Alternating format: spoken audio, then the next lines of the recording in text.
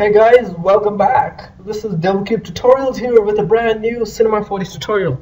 And we'll be doing some awesome modeling today. And we'll be learning to create this sleigh ball, Christmas ball in Cinema 4D.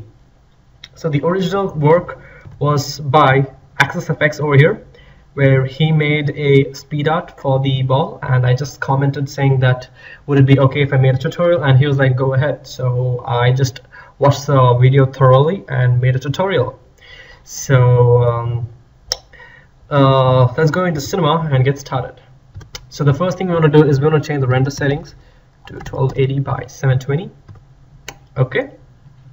And then we want to go, the first thing to do is create a sphere. And I'm going to go to display and choose Gouraud shading lines so that we can see the uh, lines over here. And in the sphere settings, I'm going to go to the object and set the type to a hemisphere and I'm going to the coordinates and set the p rotation to minus 180 so that it's facing downwards. Okay? And then what we want to do is we want to go and hit C on the keyboard to make it editable or we can click on this button here which says make editable converts a parametric object into a polygonal object shortcut C. And then we want to go and press K on the keyboard to get the knife tool and we want to select the point selection tool. Now we are going to go into the right view and we uncheck visible only and we want to go to go and go here and drag to the corners from the center point like that. And uh, let's go into our front view and uh, do the same. Okay and then when we go back to our perspective view we can see that uh, it has been cut but looks like it wasn't cut this side. Anyways uh, I'm just gonna check on visible only and uh, just make a cut over here. I mean make a few cuts. Okay. Let's go this side.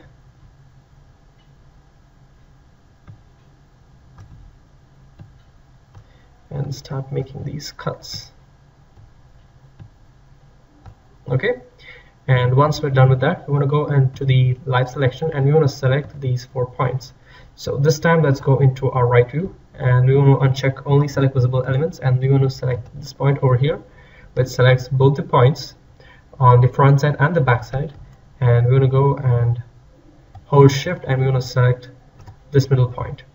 And now when we go to our perspective view we can see that all the four points have been selected I'm going to go right click and choose bevel and I'm going to set the offset to 10 and hit enter. After which I will go here to my uh, polygonal set my live selection tool go back to our front view and we want to go to the edge mode and start selecting some edges and make sure that only select visible elements is ticked off because when we select the lines over here it selects the points there as well. So let's hold down shift. Let's grab some points let's go down grab some points. Go down grab some points and let's go to the front view and do the same. Hold down shift grab the points. Oops not that. Hold down shift grab the points and let's go zoom in here and this one. Okay. So now when we come back over here we can see that all the four sides have been selected. And I'm going to go and choose the bevel tool and I'm going to set the offset to say around 2 centimeters. Actually let's that increase that to 3 centimeters. Okay and then we want to go into our polygonal selection. And we can see we have some polygons already selected but we do not want these polygons. We can go back into our right view and we can go and click away to deselect everything and we can click check this one this point sorry this polygon this one this one uncheck anything that we don't need. So basically I'm just creating a straight line. It's like this one. Let's go into our front view and uh, let's select these points. Sorry my bad not points polygons. Select. Okay let's go back to our front view and see if we have got everything. And we want to select this one at the bottom right here. Okay and once we're done with that we are going to go and choose a subdivision surface and we want to drop the sphere inside the subdivision surface.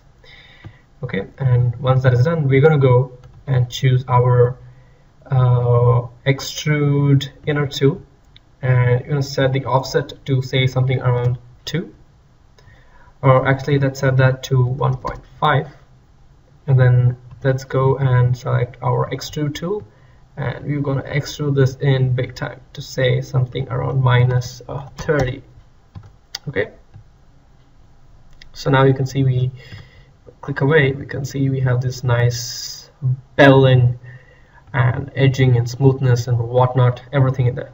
But in the end you know it looks brilliant. Perfect. Okay? But this is what is the dirty part which we do not want. Anyways so let's we'll cover that up soon okay so what we want to do next is we're going to select the sphere and we're going to select this edge mode. And we're going to go and press UL on the keyboard which gives us the loop selection and let us uh, select this loop and uh, we can choose select boundary loop and we can select that. Okay?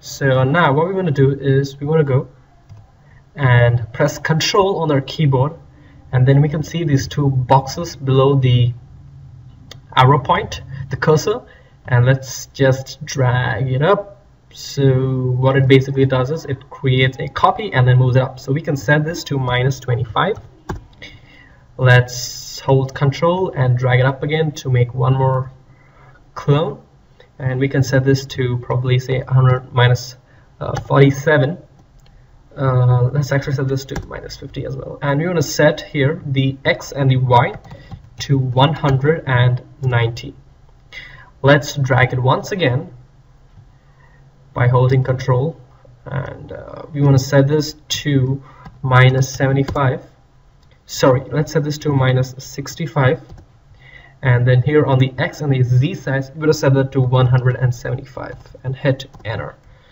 Okay? So this is how it kind of looks like. Okay so let's uh, give some details. So let's go and make a tube.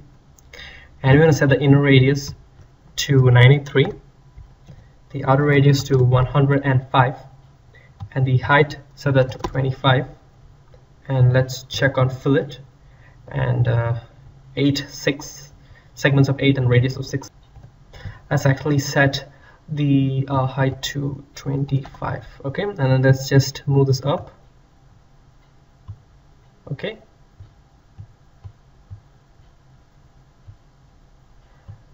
So that it. Now kind of almost touches it. So if we zoom in a bit closer we can see it intersecting. So uh, let's see to what extent to till where we can make sure it doesn't intersect. So probably around there. That looks uh, fine let's down okay and then we want to go and uh, go and create a sphere again. And I'm going to choose this as a hemisphere. We're going to go drag this up. And we're going to make this editable and go into the polygon tool over here. And we're going to go and in the Y we're going to set this to 115 okay and we want to bring this down. Okay somewhere like that. Okay. And we want to go and put this in a subdivision surface to give it a little bit more rounding and smoothness. And uh, actually we want to set the y to 100 okay and then let's go and uh, bring this down like that you know whatever uh, suits you well whichever you think looks whatever makes you think looks good. I mean I think this looks good. Let me just bring this down a little bit more. Okay let's take this uh, we can select these two and uh, bring that down a little bit more down. Okay yeah that looks more better. Okay. So let's uh, texture this. So we're going to be making a copper kind of texture. So let's get into the material editor over here we're going to set the color to 225 100 and 80 for the brightness the RGB values. And we're going to set the brightness to 25% actually let's set the G to 200 okay? Then we can go into the reflection channel. Okay we can go and uh, set the R values to 160 the G value to 110 and the B value to 70 we can set the brightness of this to 50 we can check on additive. Let's set the blurriness to 10% we can go to texture add a Fresnel. Let's get into the Fresnel texture. Okay so in this white color we're going to replace that with RGB values of 255 for the R uh, 230 for the G and 195 for the Z. Oh sorry the uh, B and we have these default colors which I just wrote down for reference and on the black one we're going to set that to 112 and uh, 69 for the G and we're going to set that to 0 okay. So here in the mix strength we're going to set that down to 70 percent. Now let's go to the specular and we're going to set the height of this to 170 to give it a bright specular we can go and choose the mode to metal and actually let's choose it to plastic that gives us a better one. And we can go here and change the type of this to a torus no uh, a knot. Uh, that would do. Or a not GI no not a GI let's choose I don't know what they call that. Uh, hmm, a double torus yeah. That. So if we set that to metal we get something like this. So metal or plastic that's up to you so let's take it and drop it on all of these textures. Let's close this up. And uh, one thing we want to do is we want to go and choose a floor. So let's drop in a floor and uh, I'm just gonna go and press alt G on the keyboard to group them. And I'm just gonna go and rotate it. And uh, place it on the floor or just place it nicely on the floor. Okay. And then we can go to our content browser and we can go to the HDRI Grayscale Kit Pro choose an overhead softbox. We can uh, go to the coordinate settings and we can bring this down. Something like that. We can also go and uh, press R on the keyboard and uh, rotate it and uh, we can go to the softbox settings over here and we can shrink it down. So uh, let's see. We can uh, scale down keep the width as to 1000 and probably set the height to 300 or uh, let's set this to 1500 and the height to say around 250 and then let's go and uh, create a sky object. And I'm going to load a material in the luminance channel okay and I'm going to go and uh, drop it on the sky. Choose cinema 4D tags compositing tags seen by camera. Let's go make another material. And let's drop in a wood texture. Let's close this up. Let's put this on the floor. Okay so once we have applied the texture to the plane uh, we're gonna go and change the projection of it. So let me just uh, you know get my camera angle. Like that. Okay and I'm gonna go to this floor and press T on the keyboard and uh, we're gonna scale it out oh actually uh, let's go and create a plane in that case because I'm not able to scale it. And uh, we'll take the plane and press T on the keyboard. And then we're going to scale that out till it covers the whole um, scene here. Let's just uh, higher. Okay that looks perfect. Okay. Okay next what we want to do is we want to select the text tag over here and we want to check on seamless okay?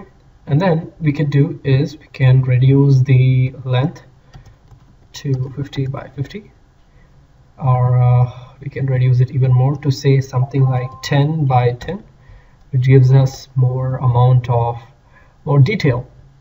So if we go here and we choose uh, ambient occlusion and then we choose global illumination I'm just going to set this to low for the purpose of the uh, explanation. Anti-aliasing we want to set that to best and then we hit the render.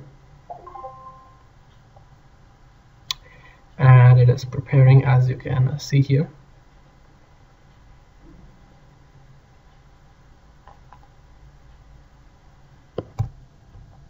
So here how it is how it looks like after creating a render.